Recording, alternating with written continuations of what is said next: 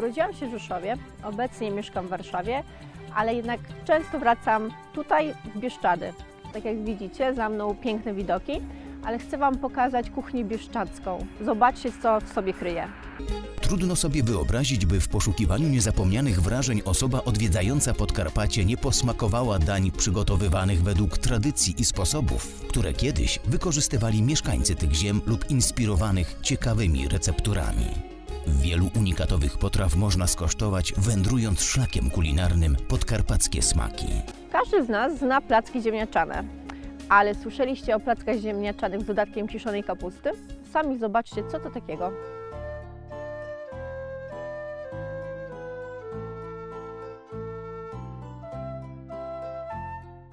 Puczki to są takie placki z ciast, na bazie ciasta naleśnikowego, w środku z kapustą kiszoną. Bardzo dobre, mogą być podawane ze śmietaną, mogą być podawane z mięsem. Żeby zrobić fuczki potrzebujemy mleko, potrzebujemy mąkę, jajka i kiszoną kapustę. Najpierw trzeba zrobić ciasto jak, na, jak na, naleśnikowe, troszeczkę gęstsze jak naleśnikowe, ale bardzo podobny ma skład. Dosypujemy mąki. Mniej więcej ciasto powinno mieć taką konsystencję, żeby nie było bardzo lejące, ale żeby nie było za gęste, bo będzie za twarde wtedy, jak po usmażeniu. Dodajemy zwykłą kapustę kiszoną. Można ją sobie troszeczkę pokroić, ale nie musi być też. Może być taka zwykła. I to ma wyglądać tak. Doprawiamy solą i pieprzem i mamy gotowe ciasto na rozgrzaną patelnię. Nalewamy olej i możemy smażyć fuczki.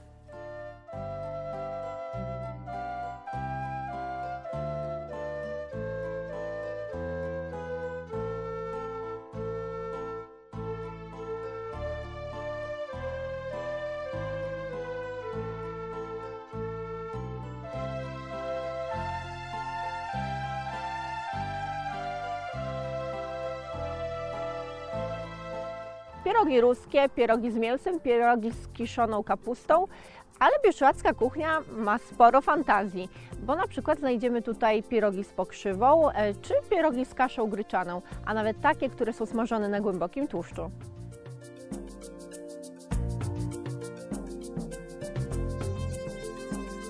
W arenykach najważniejszy jest farsz, który przyrządzamy. Kasza gryczana, czosnek niedźwiedzi, który jest zbierany w lesie na Podkarpaciu. Kroimy go drobniusieńko i dodajemy do kaszy. Dajemy bardzo dużo, żeby był e, bardzo pachnący. Później dajemy też pokrzywę. Doprawiamy pieprzem, solą, i to wszystko razem mieszamy.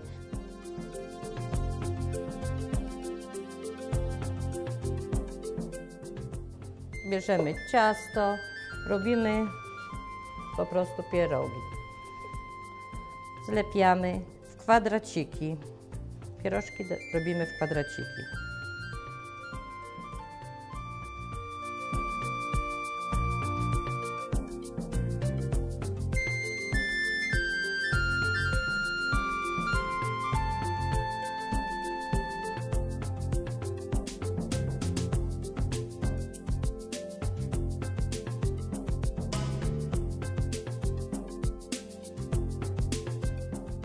Moim pomysłem na to, żeby tutaj e, m, turysta, który przyjedzie i, i chce dobrze zjeść, a chce pokosztować tych smaków takich domowych, jest e, m, grzebanie właśnie w historii e, tych terenów, czyli wypasały się tu owce, więc jest baranina. E, ludzie żyli skromnie i, i, i, i bazowali tak naprawdę na pierogach, na, na kapuście, na, na ziemniakach, na tym wszystkim, co było dostępne. Nie możemy powiedzieć, że kuchnia bieszczadzka to jest kuchnia oparta na mięsie, raczej na takich delikatnych rzeczach. Olbrzymy huculskie to przede wszystkim ziemniaki ugotowane, dobry ser, e, lekko kwaśnawy, najlepszy jak jest, jeżeli ser jest już odstany. No i oczywiście wędzonka, czyli boczek e, wysmażony i cebula e, zezłocona. To wszystko mieszamy, zawijamy w tradycyjne ciasto pierogowe, lekko podgotowujemy, a potem pieczemy w pełnym tłuszczu. Wtedy one są chrupiące, pyszne, smaczne i, i po prostu ten smak jest całkiem inny niż takich gotowanych pierogów. Na wierzch są oczywiście kraszone masłem e, czosnkowym, podawane z kefirem, tudzież z maślanką, jak ktoś sobie życzy.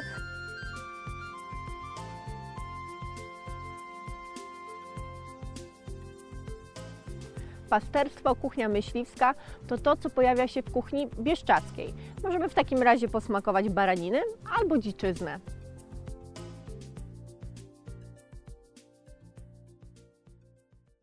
To jest kuchnia bardzo zdrowa. To jest kuchnia wymagająca, bo y, dzikie mięso y, jest dość trudne w obróbce.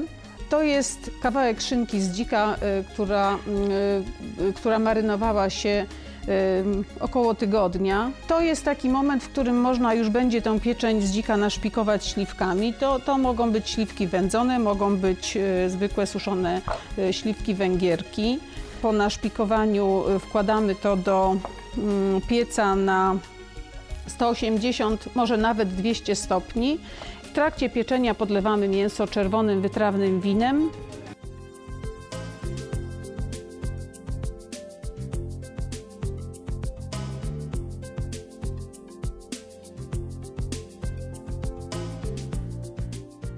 Chcemy też, aby baranina na stałe wróciła do, do tutaj do regionalnych restauracji i też już się ona pojawia, baranina jak- i jagnięcina. Wiadomo, przestały się owce wypasać na połoninach, nad czym wszyscy ubolewamy, bo widzimy, co się z tymi połoninami dzieje. E, Natomiast jednak e, powoli zaczyna się odbudowywać stada owiec w, na Podkarpaciu i tej baraniny jest coraz więcej, jest w dobrych cenach, więc już bardzo mocno polecam wszystkim tym, którzy chcą trochę poeksperymentować z kuchnią, żeby tą baraninę próbować.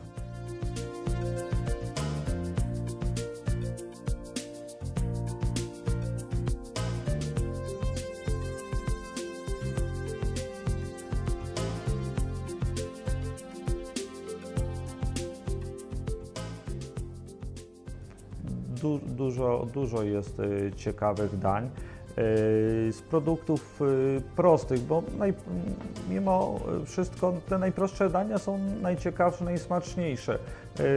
I, i się okazuje, że, że wykorzystanie czosnku niedźwiedziego popularnego w naszych lasach, czy, czy liści chrzanu, zapomnianego, można powiedzieć, warzywa,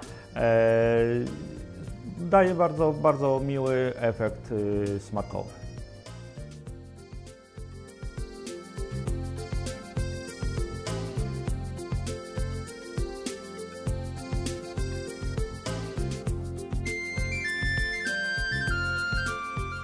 Kuchnia łękowsko-bojkowska e, w związku z tym, iż e, były to tereny e, bardzo ubogie, rolnictwo bardzo trudne, tereny górzyste, charakteryzowała się również bardzo ubogą specyfiką.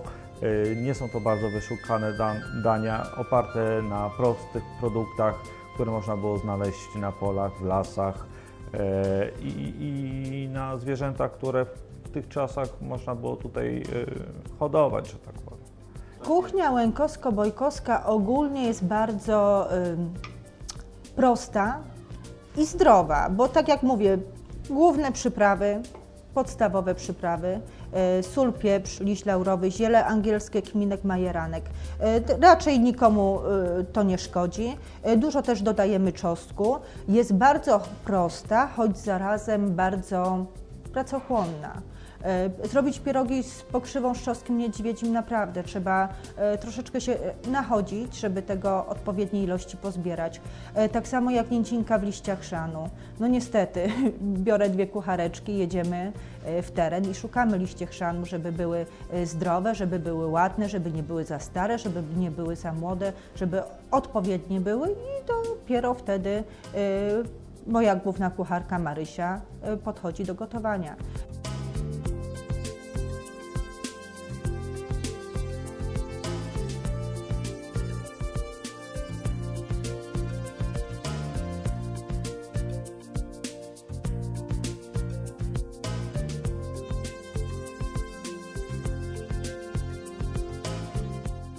Chryczanyki, czyli mięso mielone z dodatkiem kaszy gryczanej.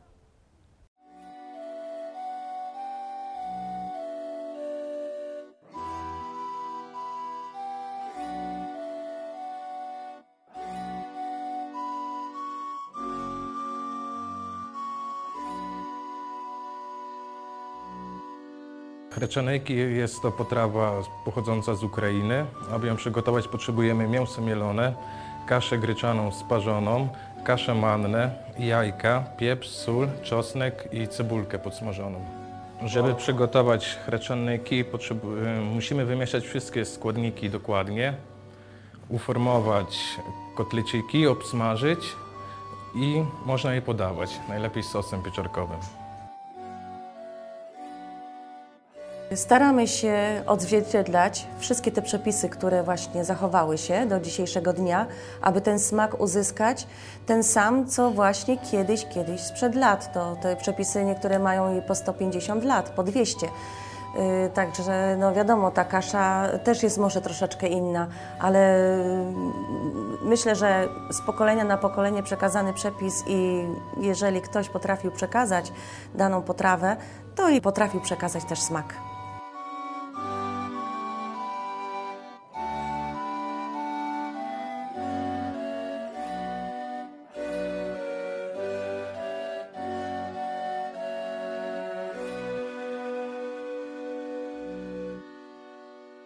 Bieszczady kuszą swoją naturalnością, ekologią, tradycją. To znaczy, że możemy znaleźć wiele produktów wytwarzanych na miejscu. To nie tylko sery, ale także wędzone wędliny czy konfitury.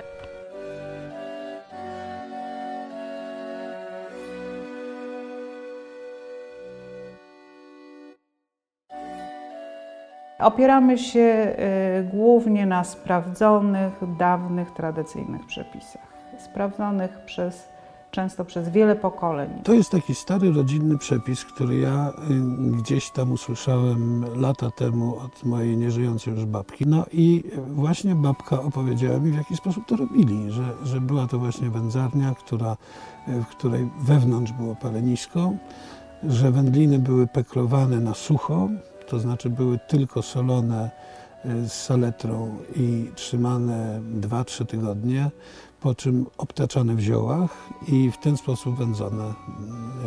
Y, Wędzenie też trwało około tygodnia. Y, W kompozycji ziół wolałbym nie zdradzać, ale nie są to żadne wyszukane jakieś historie, tak jak to wtedy bywało. E, Tajemnica tkwi w tym, żeby chcieć to zrobić i chcieć to zrobić e, rzetelnie, ręcznie, bo, bo wszelka produkcja maszynowa zmienia zupełnie smak. Wędźcie, na litość boską, wędźcie. Nie powiem dlaczego, ale, ale no, wszystko, co, znaczy najgorsza wędzarka, dom, wędzarnia, która jest w domu, jest chyba lepsza od, y, od przemysłowych produktów. Dzień dobry. E, Wędliny z naszej wędzarni, wszystkie domowe, dodatki ze spiżarni, brusznica z bieszczadzkich lasów, śliwki w syropie gozikowym, konfitura według rodzinnej receptury, przybranie też do jedzenia, bo to są wszystko zioła z mojego ogrodu świeże.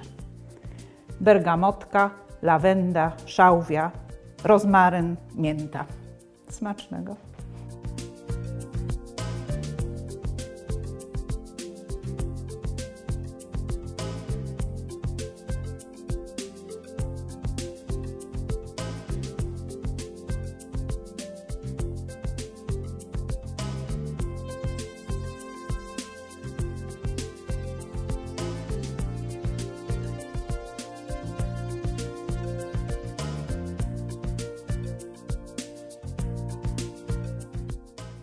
Bieszczady mają wielki potencjał kulinarny za sprawą bogatej historii i ogromnych wpływów innych kultur i religii. Zachęcam do posmakowania bieszczadzkich smaków.